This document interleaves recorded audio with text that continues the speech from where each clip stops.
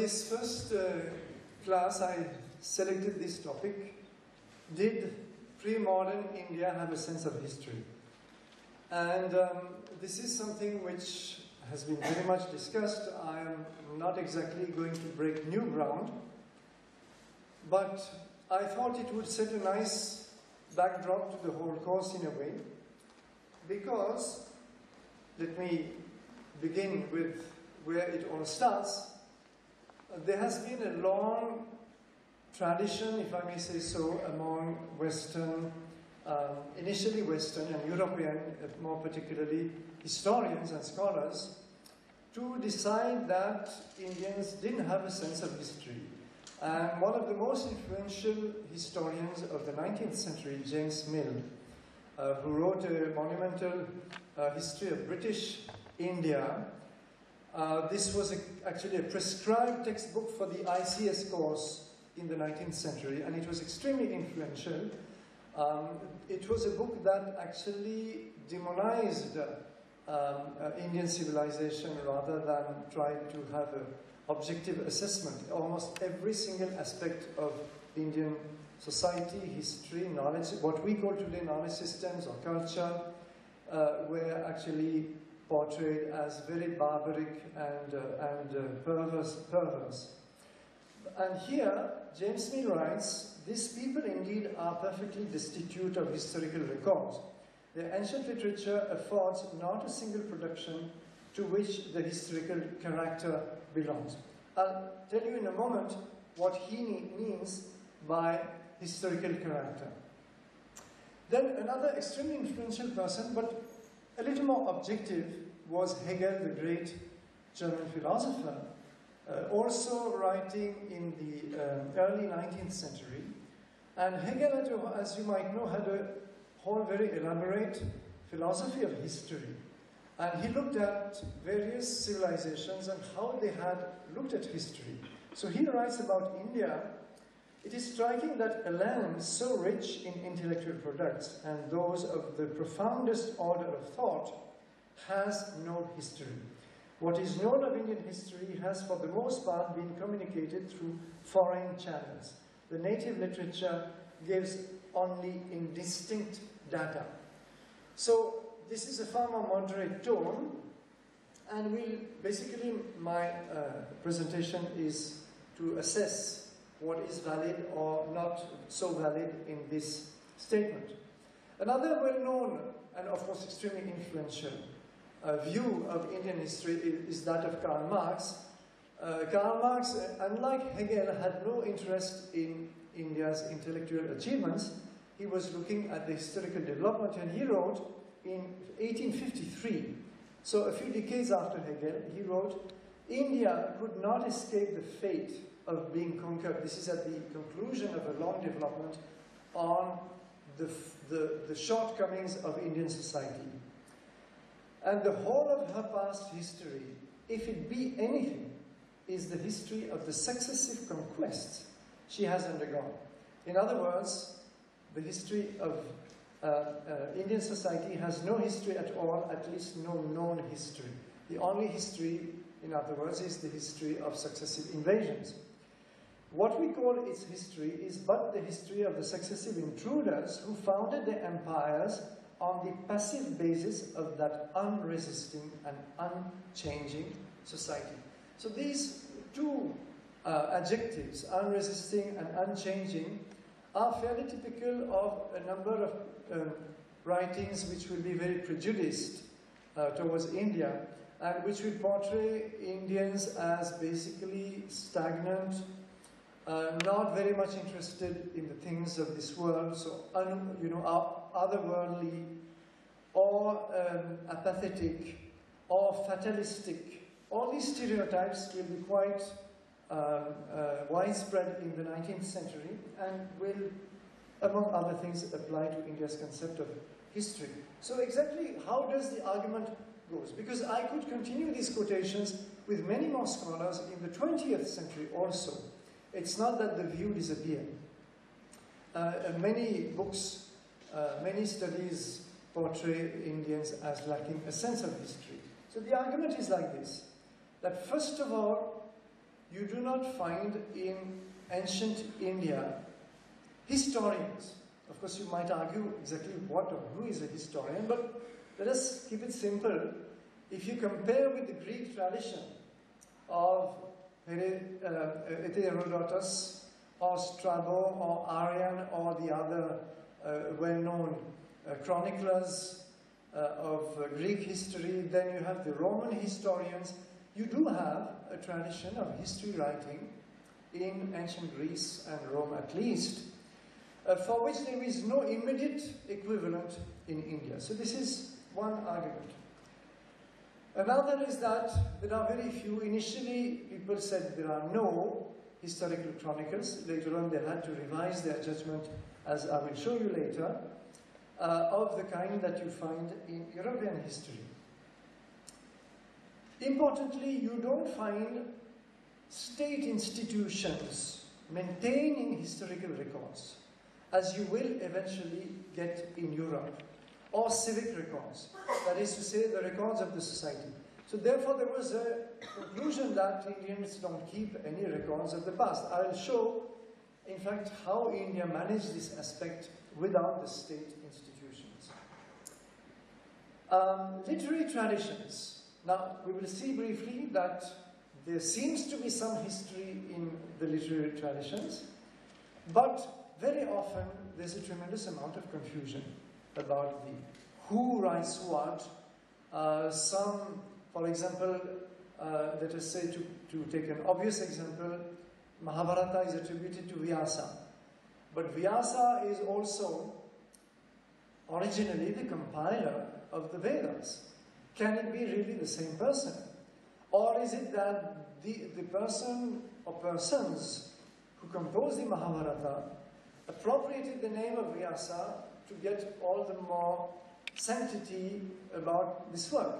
So these are um, questions which you encounter for any number of uh, ancient Indian texts and which do not have very easy answers. So for example, Macdonell, was a prominent British Sanskritist, uh, late 19th and early 20th century wrote, history is the one weak spot in Indian literature.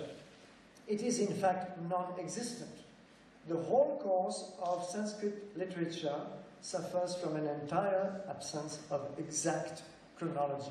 Please note the word exact. It's a fact that if you take texts again of ancient Greece, take Plato, Aristotle, uh, uh, uh, many other writers, you can work out their dates fairly precisely. Not always down to the year, but at least to the decade or two. You can do that. In India, it's not very easy. Where if you, if you take even somebody like, say, Kalidasa, uh, there's been a lot of writing on exactly what epoch he belongs to, and even if you accept that he belongs to the Gupta age, which is broadly the consensus, uh, the exact dates remain completely unknown. So, so this is a situation a little peculiar, and uh, therefore this is part of the argument. Then for those who might have a little acquaintance with the six uh, astika or in quotation marks orthodox systems of Indian philosophy, the six darshanas, Mimamsa is one of them. Mimamsa is basically a very complex exercise of commenting on the Vedas, to simplify things. And it introduced its, this notion that the Veda is basically eternal. It is not something that was composed at a certain point. It is also a Purishaya, that is to say, literally speaking, non-human, uh, Purusha, not uh, authored by any Purusha. And therefore, it, uh, uh of course, the intention was to uh, uh, endow the Veda with the utmost sanctity, but did it also do a disservice to the historical aspect that would require us to look at the Veda as a text composed at a certain epoch by certain identifiable people, in fact, the, the, the rishis who are named in the Vedas, for instance. So this is another uh, line in the argument. Finally, it does look as if we do not have travelers' accounts from India. Either of travels within India, I am referring to ancient times, or to possibly lands abroad. We do know that Indians traveled uh, uh, as much as they liked. They traveled right from Harappan times, they traveled all, the, all over the, uh, you know, what is called the Middle uh, Asian sphere, that is to say, all the way to the Middle East. They traveled eastward to uh, Indonesia, Malaysia, Thailand, and so on, and to, and to China. We do not have accounts as we do of Greek travelers to India, Arab travelers to India, um, Chinese pilgrims, the famous you know, testimonies of the Chinese pilgrims to India. We do not have an equivalent literature in India. So this is how the argument goes, all of which ends by concluding that there is poor historical awareness among Indians in general, which can be um, noticed, among other things, for example, by this, the, the, the state of neglect that many of our monuments and historical places have in India, that's a fact. Uh, the heritage is poorly managed and poorly uh, uh, preserved. Uh, is that also a manifestation of the lack of historical consciousness? These are the questions that scholars have discussed. Now, before I come to the heart of my argument, I want to pause for a moment because we say no historical consciousness. It assumes that we have at the back of our mind a notion of what history is. And I want first of all to show that exactly what is history is something which remains basically in debate. There are many different perspectives. Uh, if I take an extreme perspective the, during the Age of Enlightenment, the French philosopher Voltaire, uh, who was well known for his you know, constant use of irony in his writings, wrote this, history is the lie commonly agreed upon. In fact, Voltaire was among those, and this role of his is not so well known, who contributed to the genesis of modern history, in a sense of a more rigorous use of sources and more rigorous discussions also about the validity of the sources and so on. He was one, in a way, one of the architects of modern history. But even if we go to more recent time, this is Will Durant, a well-known American historian who wrote a massive, with his wife, uh, a massive nine-volume story of civilization, which is still quite readable. And the first volume in particular, which is called Our Oriental Heritage, has a lot to say about India and Indian civilization. And here he writes, our knowledge of any past event, because we would say normally history about is the account of past events, right? This is the common definition. And he says our knowledge of any past event is always incomplete, probably inaccurate, beclouded by ambivalent evidence and biased historians, and perhaps distorted by our own patriotic or religious partisanship. Most history is guessing, and the rest is prejudice. Now, if you you know, delve on such a definition, it's not very optimistic, obviously. Uh, there has to be something more about history, but it also shows us the, you know, hidden pitfalls hidden to the general public of what ex exactly history deals with. Finally, I take a a very eminent British anthropologist, not exactly a historian, but an anthropologist of the 20th century, Edmund Leach, uh, who wrote just before he passed away, in fact, in a paper uh, very shortly he passed away, something a little deeper, and it merits a minute of reflection.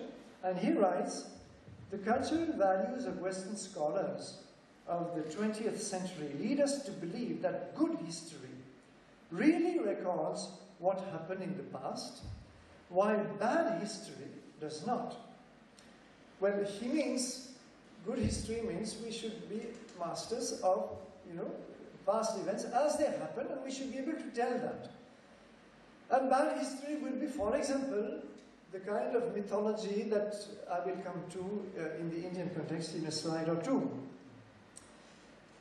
while bad history does not, but the basis on which we can make this kind of distinction is always very insecure. Bad history is seldom constructed out of fantasy.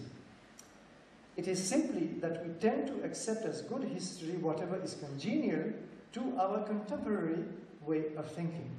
The good history of one generation becomes the bad history of the next. From this point of view, all history is myth, but the converse is not the case. Now, again, very apparently radical uh, statement all history is myth. That doesn't mean that all history is false. He uses the term myth in the anthropological sense of the term, which means a cultural construct. That's what he means. He simply means that we should abandon the illusion that history can be a, a very faithful, uh, almost mechanical record of past events. That doesn't exist. And there is always a lot of coloring that takes place, which is part of myth making. In fact, just using your common sense, not more than common sense, and a little bit of acquaintance with the field, you can yourself realize that history necessarily suffers from severe limitations.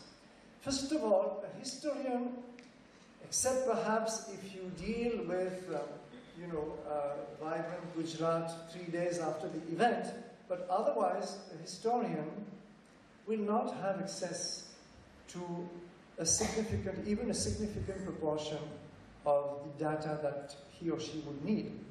And of course, the more ancient the period, and the greater the, the, the, the lack.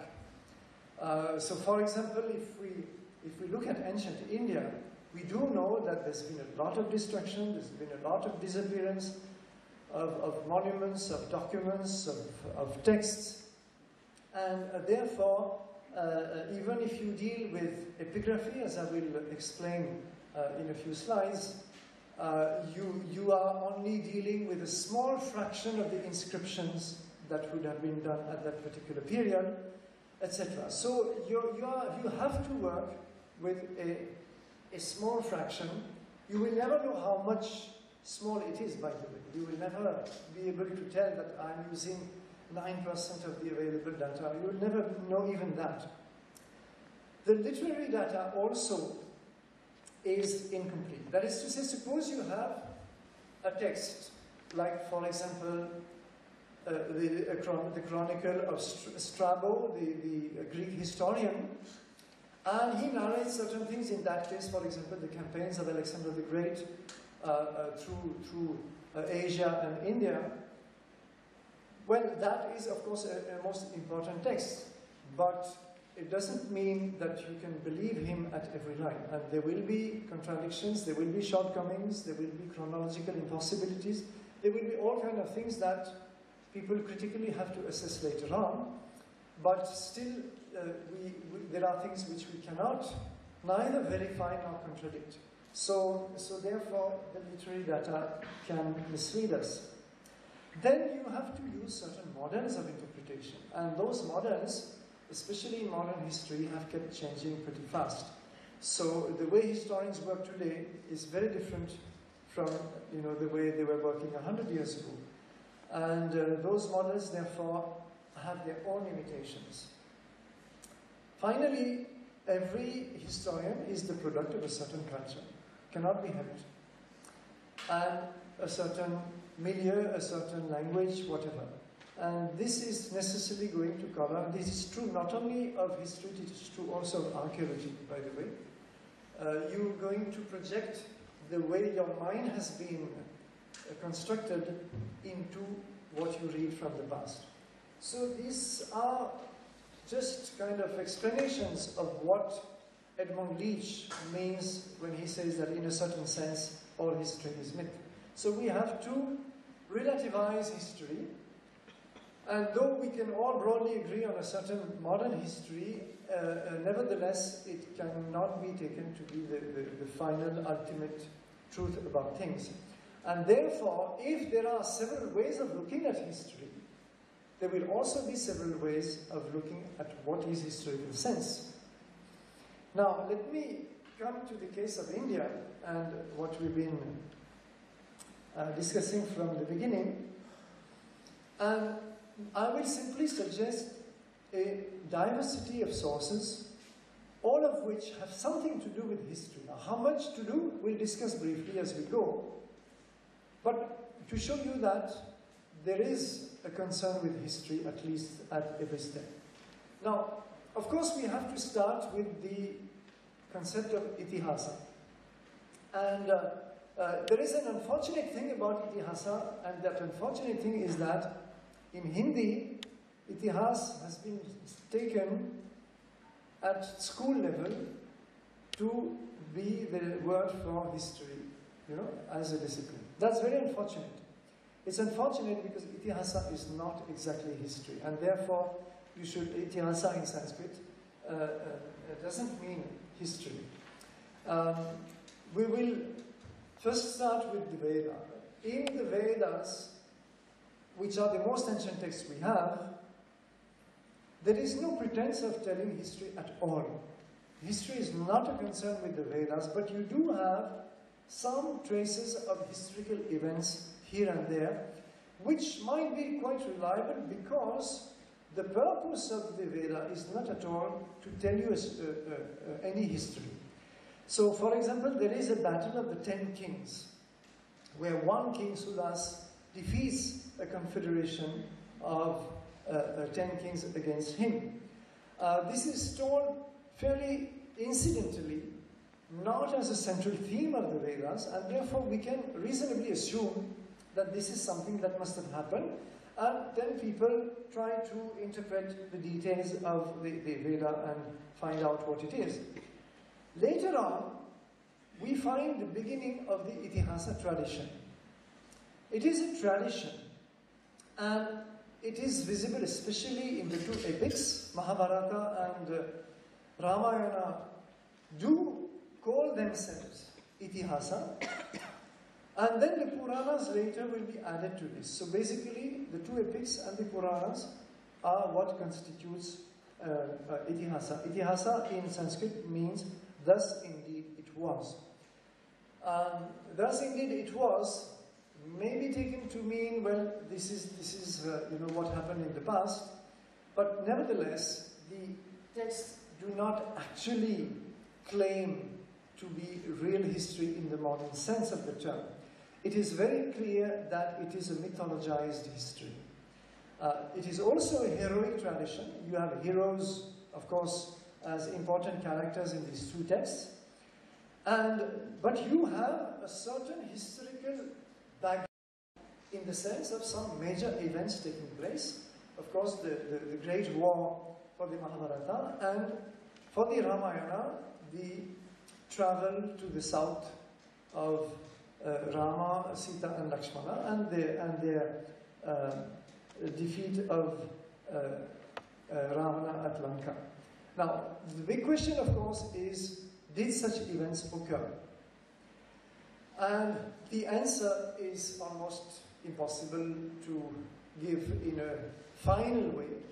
There are still opinions uh, of, of two camps, and there are also opinions in between, which basically conclude that there must be some historical kernel behind those stories, but how much exactly is very difficult to decide, especially when there is no independent uh, corroboration uh, for, from archaeology in particular. Um, there are sometimes clues. For example, in the Chandogya Upanishad, which is a much earlier text than the Mahabharata, you have a brief mention of somebody called Krishna Devakiputra. Very brief. There's almost, I mean, among a series of heroes. There is no comment, no explanation, nothing. And in fact, because there is absolutely no development, we can take this name as a genuine name, and perhaps it means that Krishna, uh, as he appears much later in Mahabharata and in Bhagavata, still later in the Bhagavata Purana, uh, was already known to the Upanishads, but, but what kind of a, of a character he was, there's absolutely no clue to, to help us. So the historicity of the text still remains in question. Uh, there have been debates from all kinds of angles, uh, archaeology, the internal consistency of the epics themselves, sometimes some archae uh, investigations, that is to say, looking at the astronomical configurations given in the text and trying to draw conclusions. But unfortunately, even those conclusions are never unanimous among the scholars. Uh, ultimately, the same conclusion is that uh, historicity, the amount of accuracy that you can attribute to those events, uh, is something which will never be decidable. However, what is very clear is that the central purpose of those two texts, the two epics, is actually not to tell history. It is rather to give a teaching to the land, to, uh, a teaching of dharma, and to set a certain cultural framework which was very successfully implemented throughout India uh, uh, through a diversity of renderings, translations, adaptations, and so on. So we cannot, let us be clear, these two Itihasa texts are not history textbooks. In fact, we may say, uh, uh, almost as a joke, but we may say that they, rather than telling history, they made history. That would be a more accurate statement. As far as the Puranas are concerned, yeah, one thing which uh, is clear in those texts, even in the Vedas to some extent, is one historical concept which will be permanent afterwards, and we'll be coming back to it again and again uh, in the next few slides, is the concept of lineage.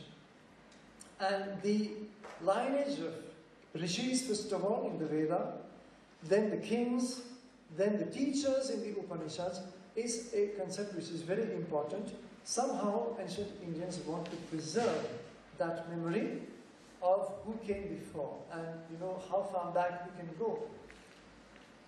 So this will become very developed in the Puranas and much of the content of the Puranas, you, I, I hope you all know what Puranas are. They are kind of encyclopedias of ancient India dealing with the gods, the pantheons, the worships, the rituals, the uh, sacred places, the geography, the sometimes also uh, architecture and, and uh, even more mundane disciplines. And among and one important aspect is dynasties. How do you establish, how do you reconstruct the past through the, through the medium of dynasty and lineage? They've been very closely studied, especially in the 20th century, after some of them became also translated uh, into English and other European languages. Pargiter, who was an eminent uh, uh, scholar and a, a judge uh, in the, I think it was in the Calcutta High Court, if I'm not mistaken, authored a book called Ancient Indian Historical Tradition, which was basically an attempt to synthesize the data arising from the Puranic dynasties and trying to see whether he could make sense of them and reconstruct something that from a historical point of view could stand its ground. And he said there is hardly any doubt that the royal genealogies in the Puranas embody many genuine historical traditions of great antiquity which have not been otherwise preserved. But you see, this already brings out the difficulty. If they have not been otherwise preserved, then how will we be able to verify them?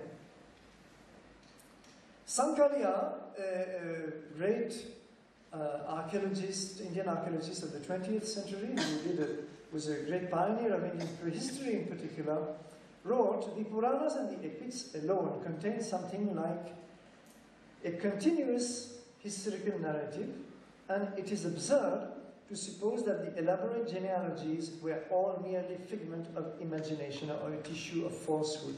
Now here, Sankalia and to some extent Pargiter are answering 19th century scholars who had a quick look through all these massive dynasties of the Puranas and decided that they were, you know, utter rubbish basically and completely unusable.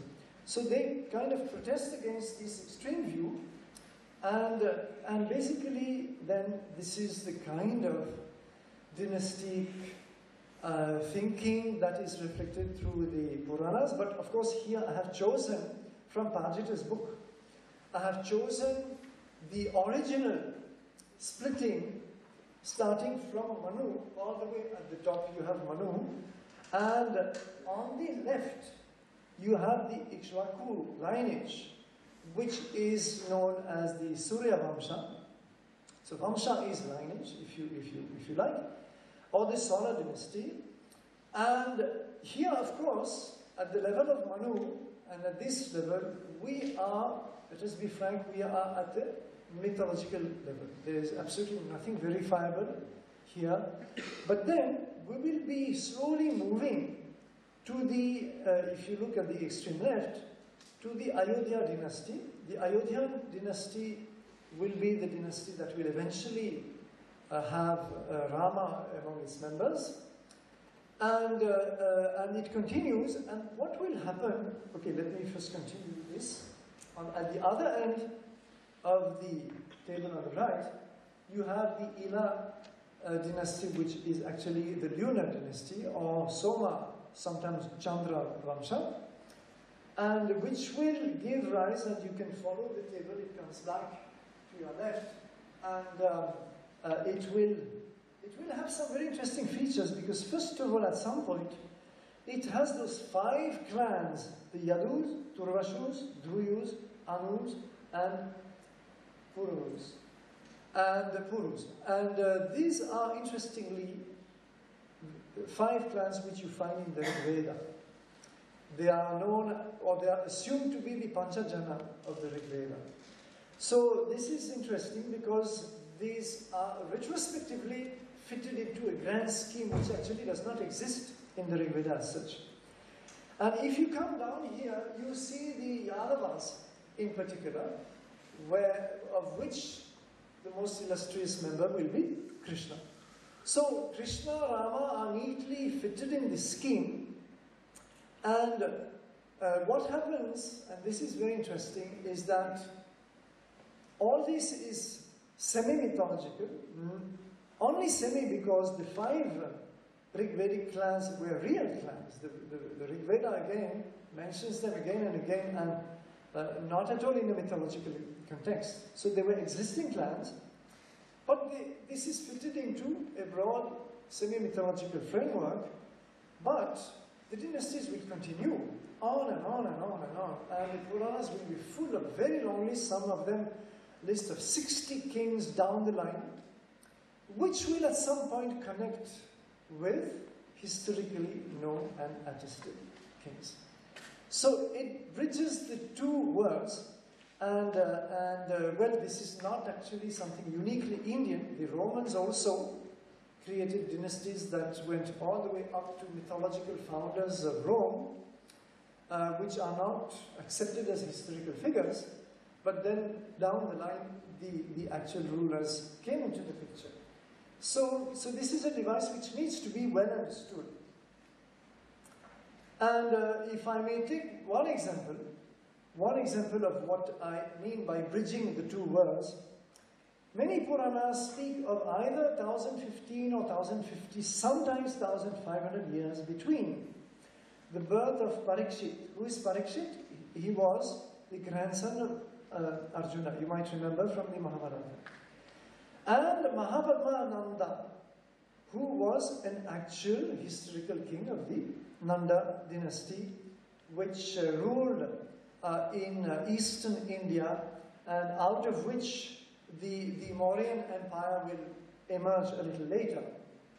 So you can see how here we are given a time, which incidentally, if you want to work out the date, which is what uh, the great uh, uh, Bengali historian Roy Choudhury did, uh, which points to a date of 14th century BC for the Mahabharata, but that is not my concern here. The point is, you start with Arjuna here and you go down to uh, Mahapadmananda, who was a real uh, figure. I am not saying that Arjuna was not a real figure.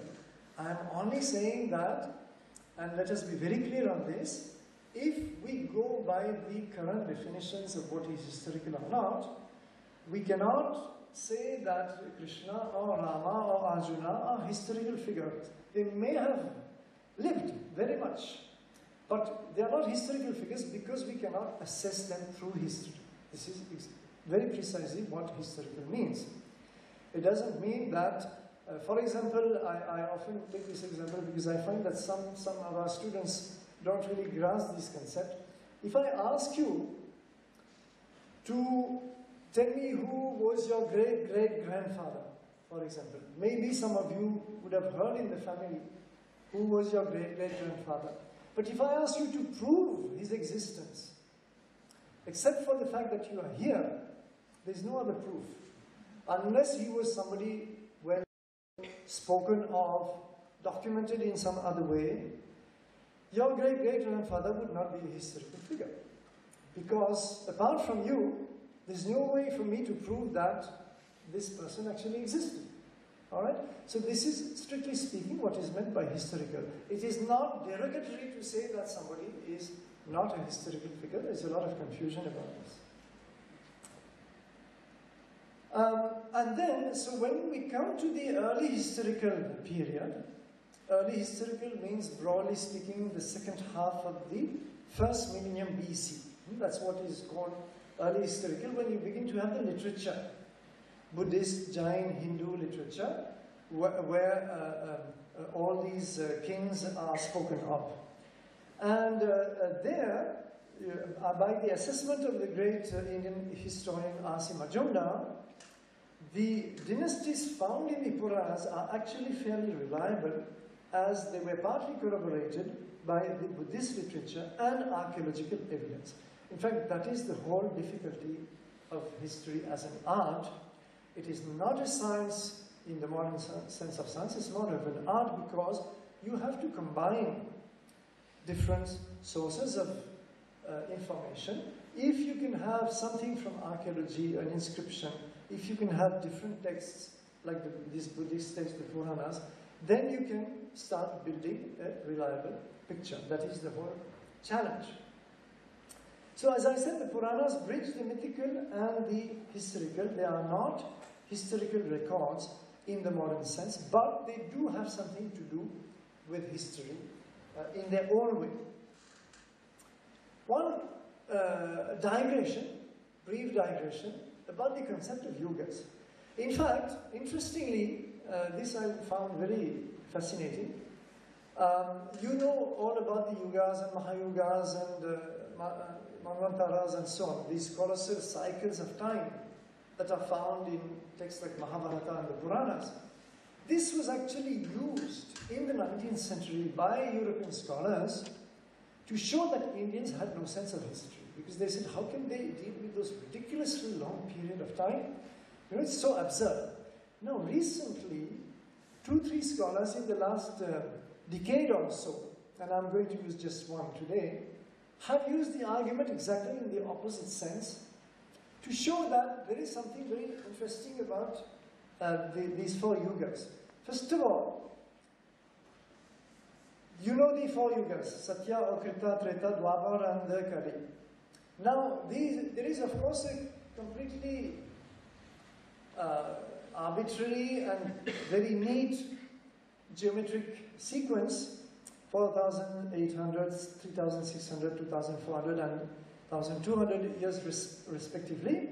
So the, the, the, ratios are 4 to 3 to 2 to 1, which add up to 12,000 years. That's not the duration you are used to, right? In fact, because to get to the proper Yuga scale of the Puranas, you have to consider that these years are divine years. They are not human years. And what is a divine year? It's a human year into 360. So when you multiply, this is what you get 4 millions, uh, etc. And this will be multiplied a thousand times and then doubled, etc. And this is how we come to the you know, famous uh, kalpa of 8.64 billion years, uh, which uh, famously the American um, astronomer Carl Sagan noticed was pretty close to the actual age of the universe. Anyway, that is just an amusement. But more interestingly, there are some descriptions in these yugas which are very strange. For example, in the Krita, people took refuge by the mountains and oceans, having neither houses nor shelters. So they don't have houses, they just live in caves or, or near the ocean, and they don't practice agriculture. These are actual descriptions from many Puranas, especially the Vishnu Purana, which has very long descriptions of these yugas. In Treta, there is mention of extremes of climate, and therefore people taking, having to take shelter in houses and becoming uh, sedentary, they start practicing agriculture and trade. These are actual mentions in the Puranas. In the Dwapara now, we have decadence because as you know, the four yugas tell a tale essentially of decadence, degradation, loss, and uh, ultimately a pralaya and then a new creation. That's how it goes. So in the Dwapara, there is decadence of the society, there are droughts, diseases, and deaths, but at the same time, the schools of the Vedas and the Shastras are said to develop at that time.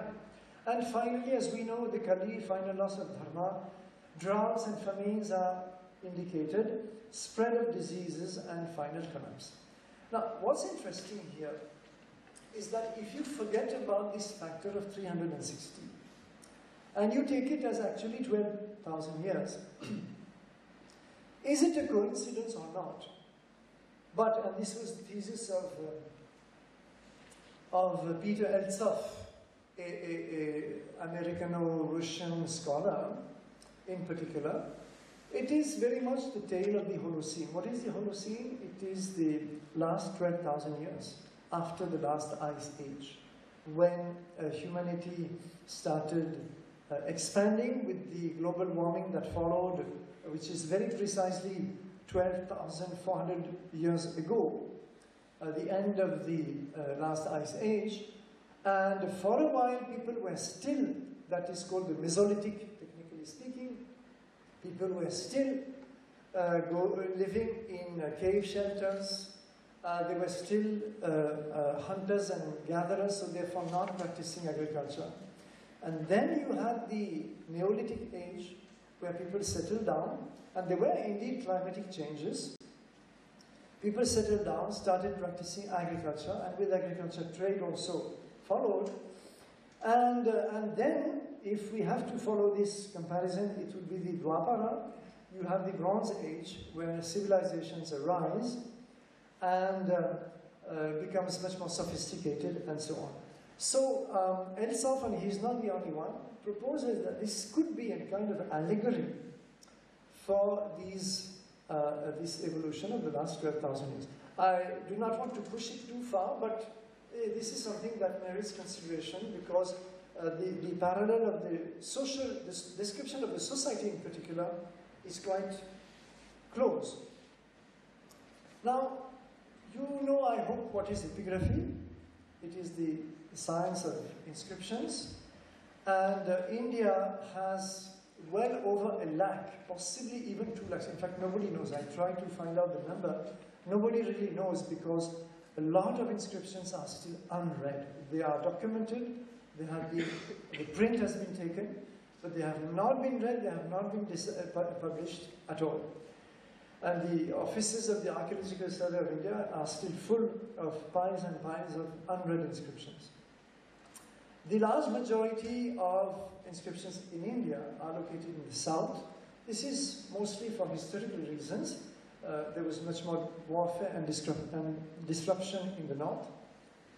And these inscriptions, well, this is well known, so I will move a little fast. Uh, according to D.C. Sirkar, one of possibly the greatest Indian epigraphists of the 20th century, contain not only much information on, as we know, warfare and kings and dynasties and uh, politics, that's uh, reasonably well known, but he said there is no aspect of the life, culture, and activities of the Indians that is not reflected in inscriptions.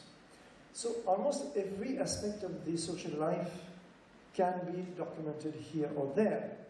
Whether it is digging, sometimes simply digging a pond, building a dam, uh, predicting an eclipse, or making an offering in a temple, etc., etc. Nothing is too small for inscriptions, and that's what makes them so fascinating. So I, will move on because this is well known, I, am not here to uh, give you a history course. Uh, you, the, among the first batch of uh, the best known inscriptions, possibly not the earliest, but anyway, among the very earliest are Ashoka's edicts, where Ashoka not only um, spoke of his military conquests, but more than that, gave his view of life, his um, passionate adherence to Dharma, or Dhamma, Dhamma as it is in Pali, and, um, uh, uh, and Prakrit, and basically wanted to give a teaching to his subjects uh, uh, as to how they should behave and how the society is to run smoothly.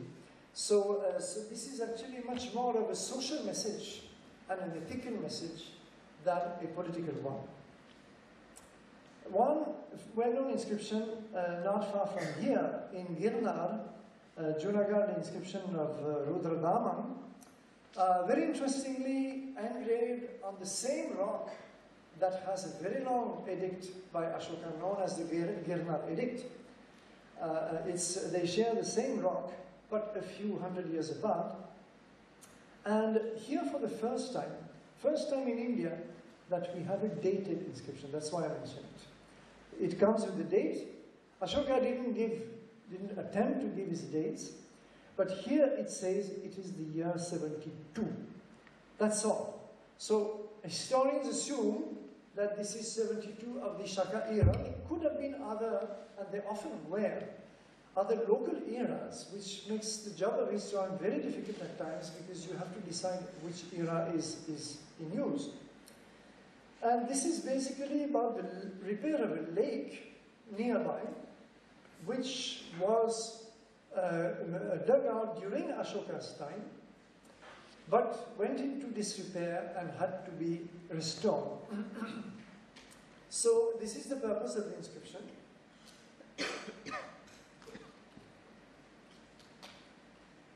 And uh, if you're going to give a date to an inscription, well, we could argue that it means you have some historical sense at least. Because if you have no historical sense, why should you take the trouble of dating it? Uh, then one very famous inscription is that of Samudragupta, the uh, famous Allahabad pillar. And once again, this Allahabad pillar first has a Ashokan inscription, and then different rulers use other sides, unwritten sides of the um, pillar and add their own. And this is about not only military conquest, state structure, but also Gupta's talent uh, for music and poetry. And here we have a kind of praise, uh, uh, because the, the uh, inscription is composed by a, poet, very probably a court poet. And uh, this kind of praise of the ruler is something that will become, or is already in fact, a kind of standard uh, in Indian inscriptions. You know, the, the, the ruler has to be praised. Now this creates difficulties for the historian because you will never be able to assess certain things. For example, when a king tells you, tells you in an inscription that his rule is as great as the rule of Rama. In South India, we even have a king who boasts that he excelled Rama in every aspect. You know? So these, of course, are things which uh, cannot be quantified and uh, have to be taken with a pinch of salt. And unfortunately, therefore, do not convey very useful information on the actual state of the society during his time. So, so uh, this is one uh, problem. we have sources through coins. Now, kings issue coins for two reasons. One is for their own glory, but that will come later. The first coins, as I will show you, uh, in fact, let me show you right now. This is, the, this is typical of the first kind of coins that existed in India. Anybody knows their name? The, they are known as the No, no, no. Well, that is one aspect of them, but they are classified as the punch-marked coins because they are made of silver and they, they come about from 600 BC onward, uh, even before the Mauryan times. They don't have any effigy, any representation of the ruler. Uh, there are only symbols whose exact meaning has not been properly deciphered. It might be about value, it might be about the kingdom. Uh, there, there, are hundreds of symbols on those punch mark coins, and the, the, the, the symbols were punched with a, a die, an iron die, into the soft silver. This is how these symbols were made. So uh, thousands of them have been found, and these are the coins which were in operation during the Mauryan times. So we do not, for example, we do not have a coin with the effigy of Ashoka. It doesn't exist. Later on, and I think this is first of all with the Kushan, Kushana dynasty, you will have coins with the effigy of the ruler, in this case, uh, uh, Kanishka. Now, some historians have said, and it's quite possible, though uh, as very often impossible to prove, some historians have said that this is the influence of the uh, contact with the Greeks and the Romans who were using effigies on their coin. Quite possible. Now, I'm showing this coin in particular for one important reason. On the uh, obverse, as it is called technically, on the left, you have Kanishka. On the reverse, on the right, what do you have? Anybody can guess? Actually, you can read it. You can read who is depicted. Yes, yes. Yes, exactly. Buddha. See in Greek, beta, omega, delta, delta, omega. Hmm. Buddha. So this is the Buddha.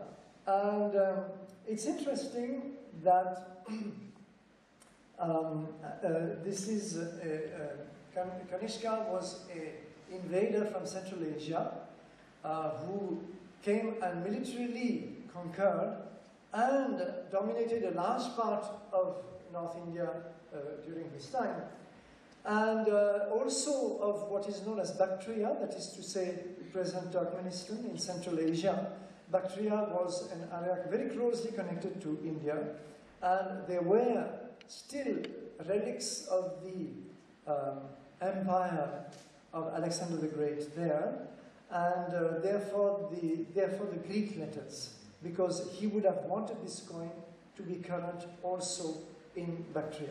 But it also speaks of his devotion to Buddha, because in fact, uh, the Kushanas adopted Buddhism uh, once they came into India, and though therefore they were military conquerors, you might say that culturally they were conquered.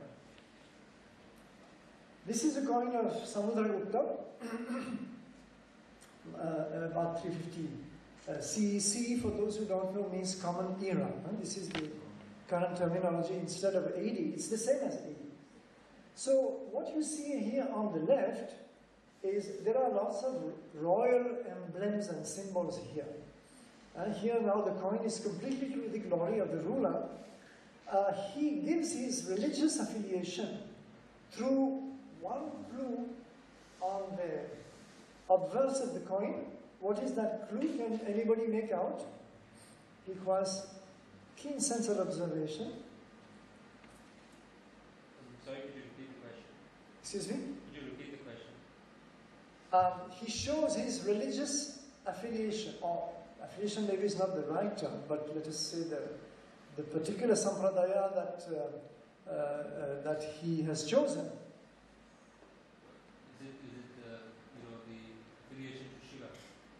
Well, not quite.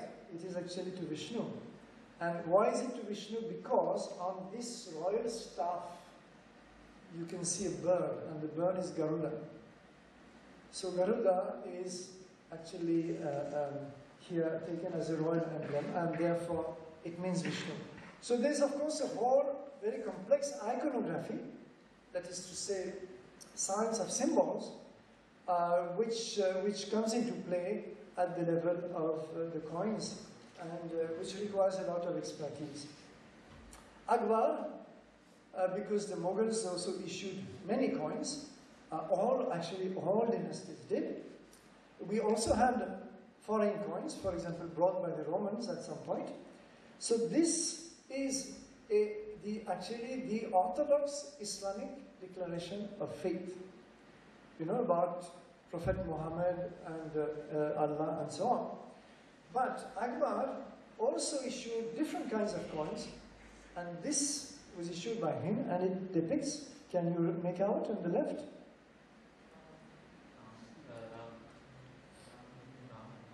Yes, it is Rama Sita. So it depicts uh, Rama and Sita because Akbar happened to be a great fan of the Ramayana story.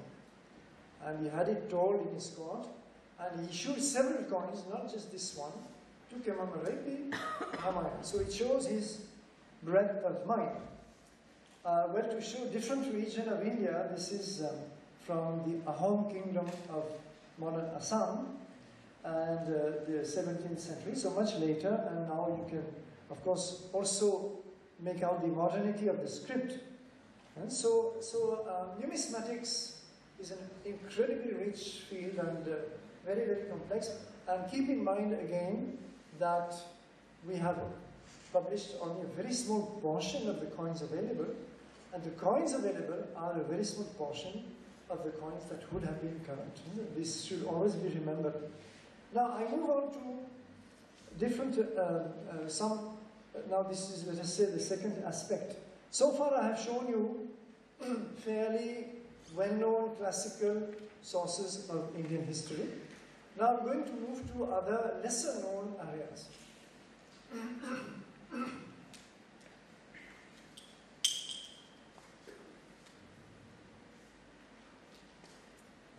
Historical chronicles Remember the first argument? India had no historical chronicles. Well, or very few. Well, the best known exception is the Raja, I'm sorry, uh, there is a complete misspelling. It is Raja Tarangini, not as spelled, of Kalhana in Kashmir, which was composed in the 12th century CE. it was a fairly long text, 7,800 verses, in poetry, therefore, and it tells basically the history of Kashmir before his times, seen through the, the again, the dynastic lineage, the, the royal dynasties. And um, uh, uh, what's extremely interesting, so uh, it has been criticized as sometimes indulging a little bit of mythology, uh, mythology sometimes um, having inconsistencies, internal contradictions uh, in the dates, etc. There have been some criticism, but by and large, it's regarded as fairly reliable, and all historians of Kashmir have consulted it very closely. But what I find remarkable is that at the beginning, among the very first verses, he sets out a proper historical method. And this is something which you do not find, to my knowledge, in, in any other Indian text. So uh, using the translation of, of Marc Aurel Stein, a, a British um, scholar, uh, he writes, Kalhana writes, that noble-minded poet alone is worthy of praise, whose word, like that of a judge, keeps free from love or hatred in relating the facts of the past. So therefore, when you look at the past, you should be dispassionate, right? That's number one. Number two, my endeavor is to give a connected account when the narrative of past events has become fragmentary in many respects. So he understands that much of the past is already lost. It's fragmented. But he's going to try to fill the gaps. That's what exactly the job of a historian is. 11 works of former scholars containing the chronicles of the kings I have inspected. So he refers to sources. He's, he has studied 11 uh, earlier chronicles and he criticized them pretty heavily for being unreliable and so on, but nevertheless he uses them. That's again what a good historian should do.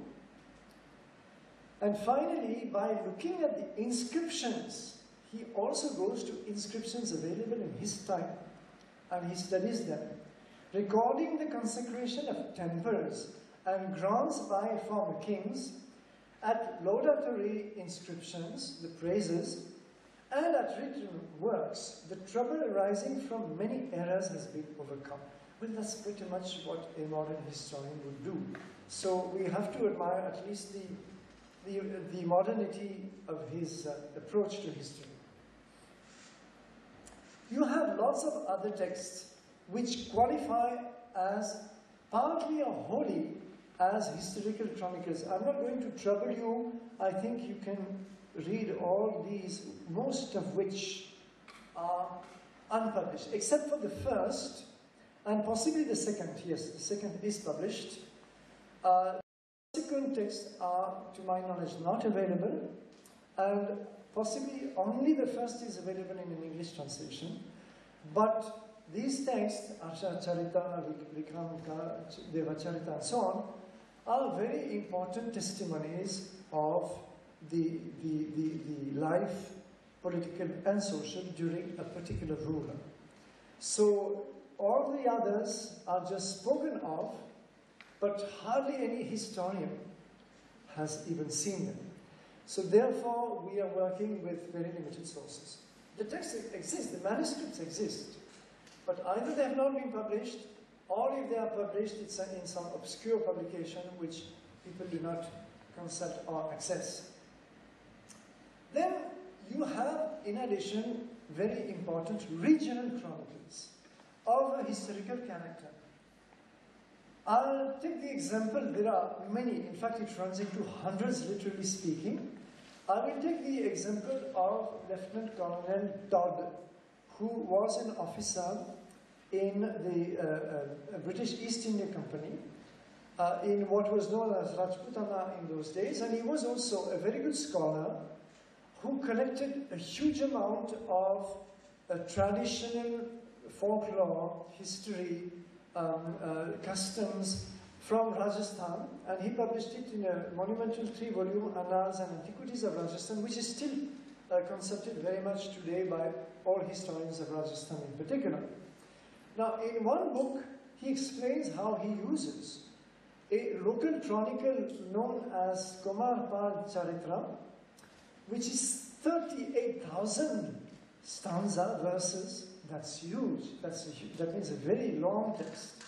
Composed in the second, in, in the 12th century by a Jain scholar. Jains, in fact, were also very good at writing their own chronicles, and their chronicles are even less known than those I showed you in the previous slide.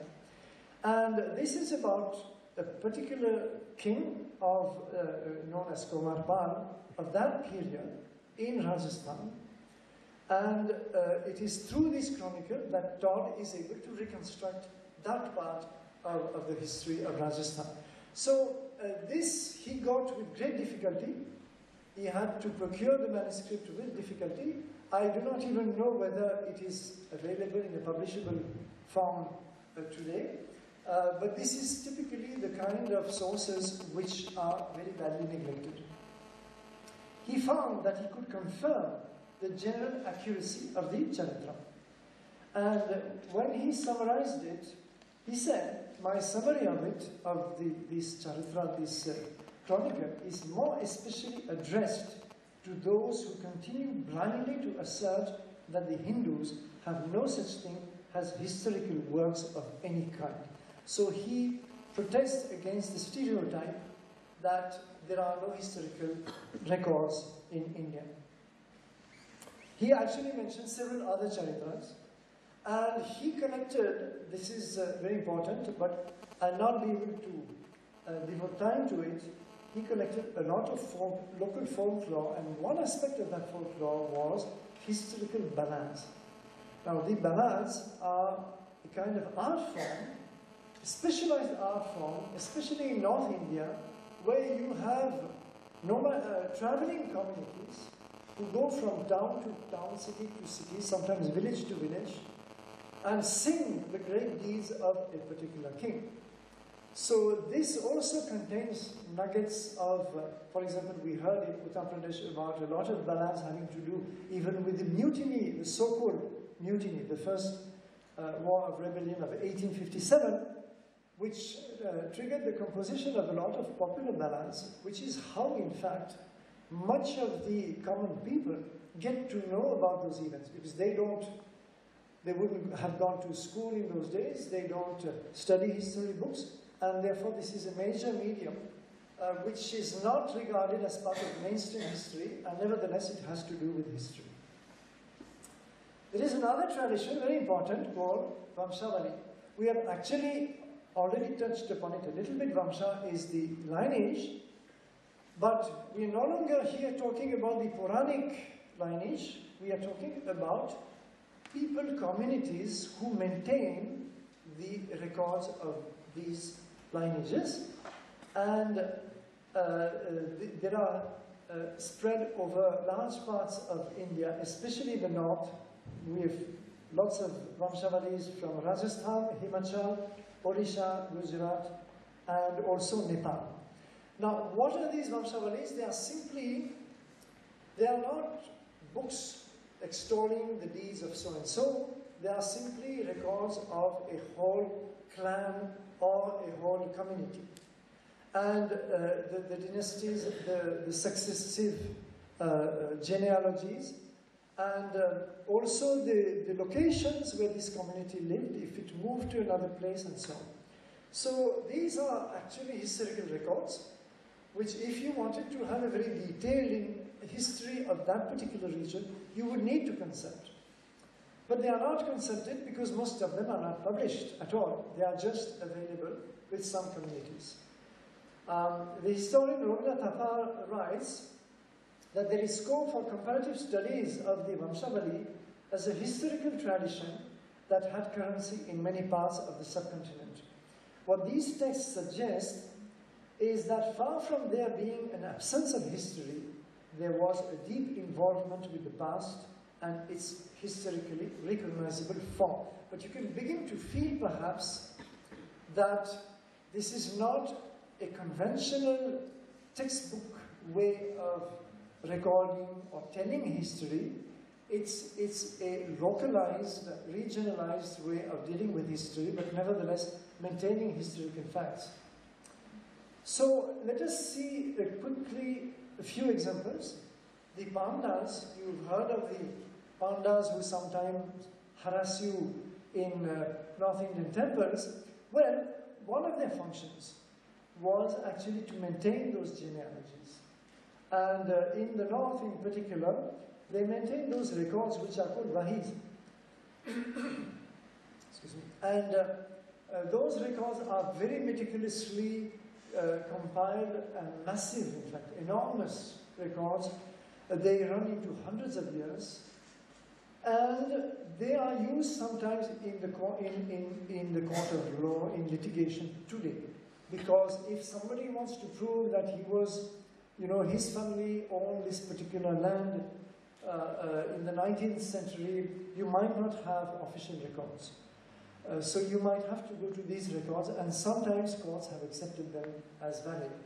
So this is also a way to, of recording history. Well, I've mentioned the, the, the ballad tradition of North India.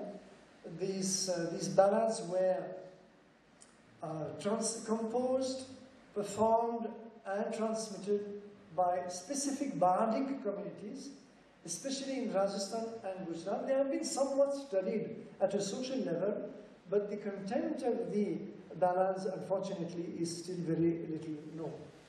Uh, this is another way of dealing with history. For example, you have one community called the Bhat or Barot community. In Gujarat, they are more known as Barot and elsewhere as Bhat. And they are in Himachal, Uttar Pradesh, Bihar, West Bengal, Haryana, Punjab, Maharashtra, Madhya Pradesh and Rajasthan. So pretty much the whole of North India. And they keep detailed genealogies as well as records of the rulers' deeds.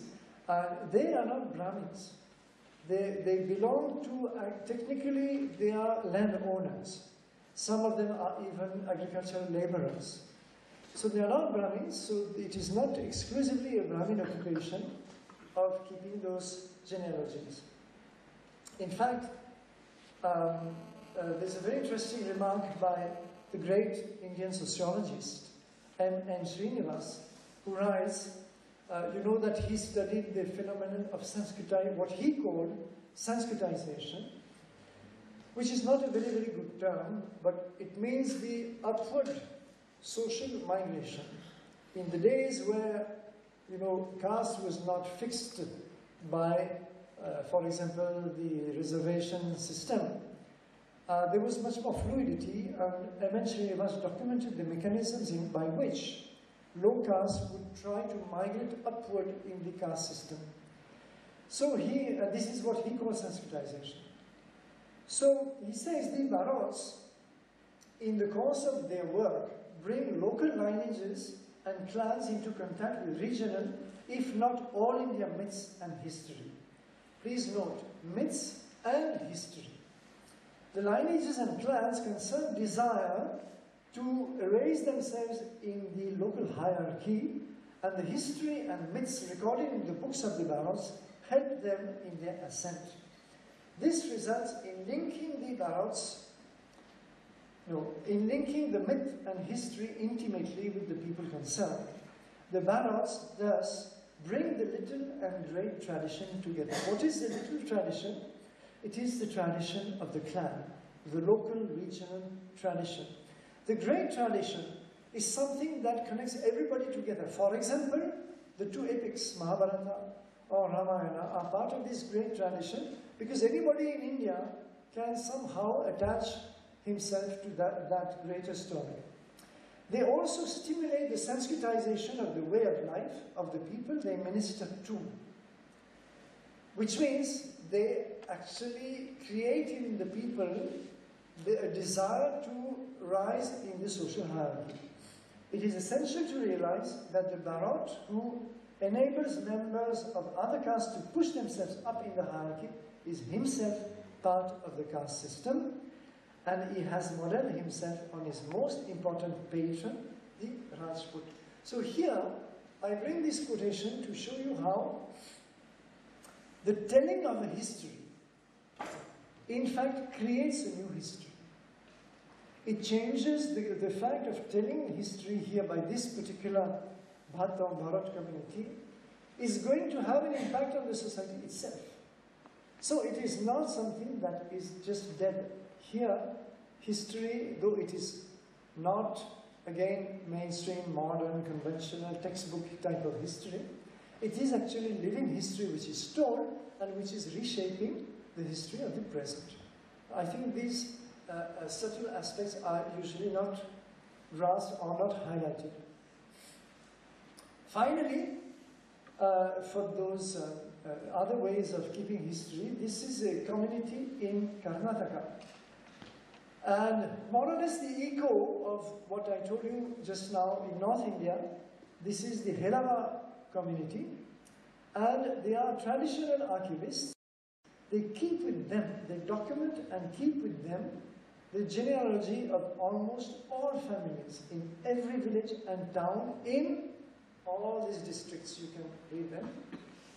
So a big part of Karnataka, and they have with them, though it is not computerized, completely handwritten, and kept up to date through a very systematic, regular visit, circular, you know, revisiting of all the towns and villages they keep with them the uh, genealogies of almost all those families and people who wish to know their ancestry.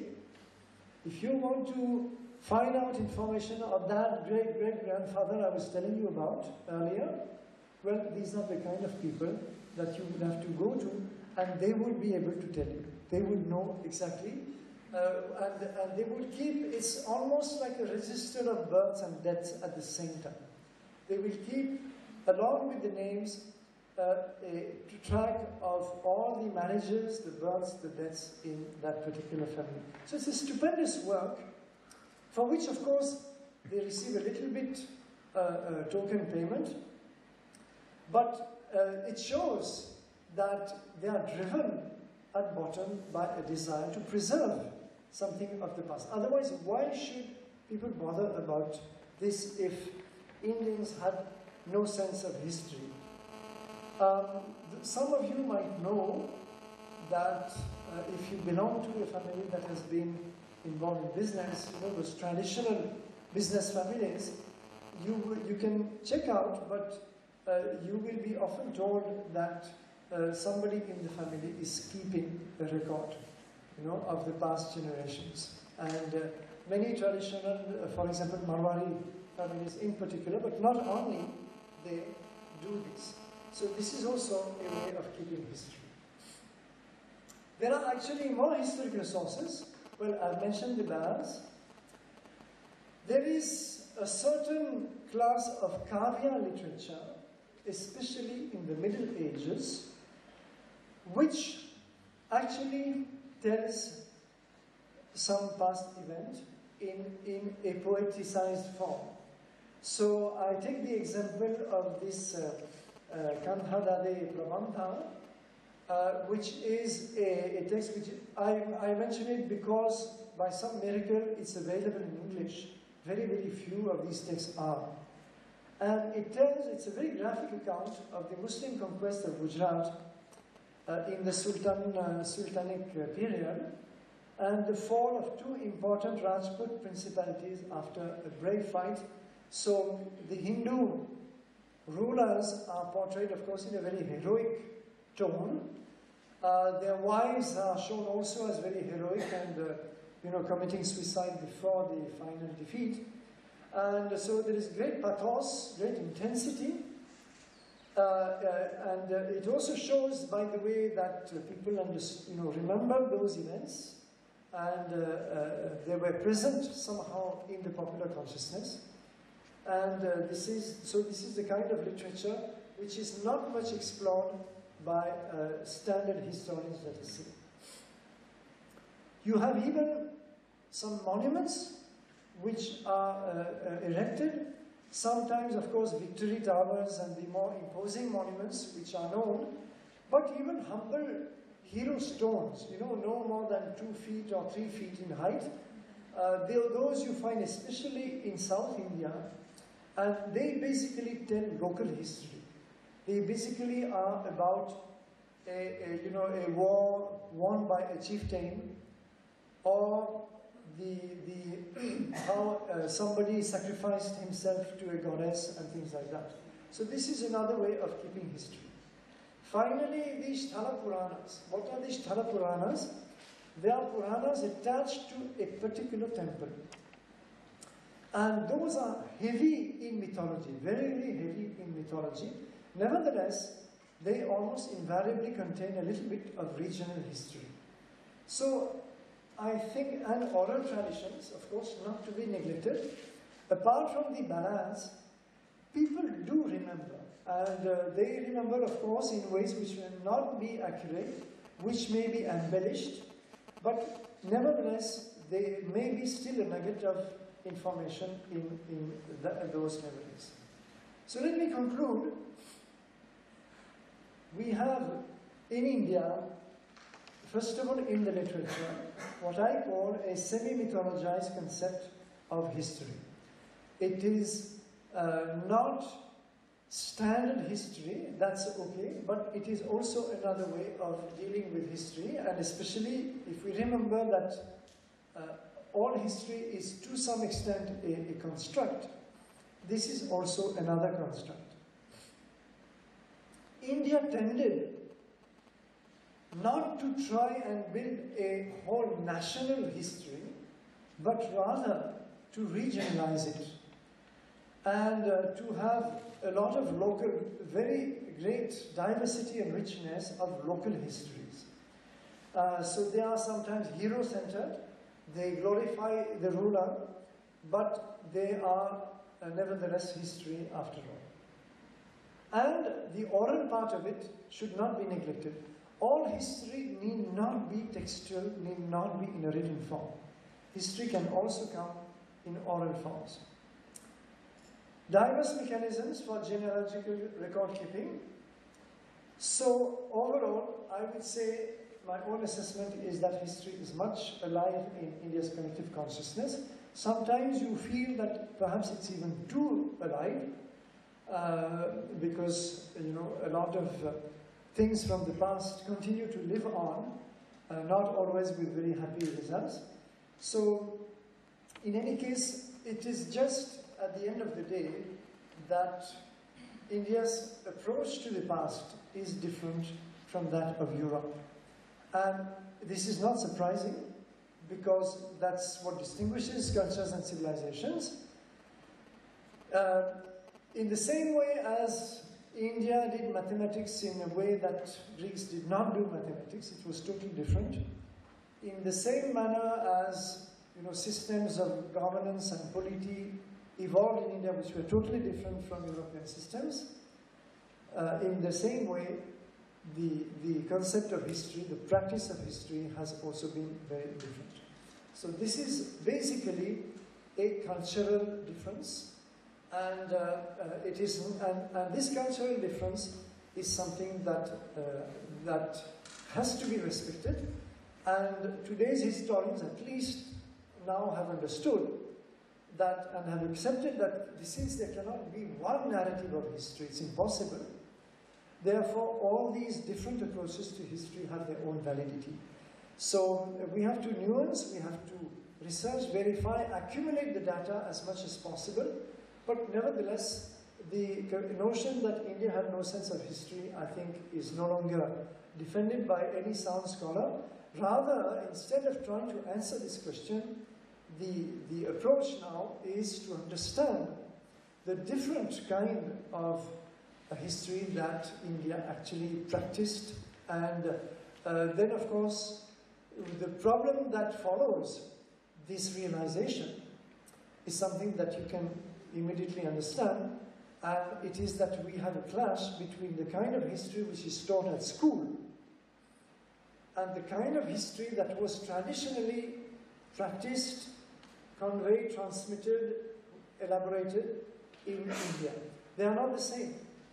So therefore, therefore, even you know, uh, uh, ordinary Indian students, after taking the history course, assuming that they paid any attention to the history course, uh, they do come out often convinced that yes, there's something wrong with uh, Indian history. But there is nothing wrong with Indian history. There is some, simply a need to understand the cultural difference. And uh, then, then the Indian way of constructing history takes is full meaning. So thank you for your attention.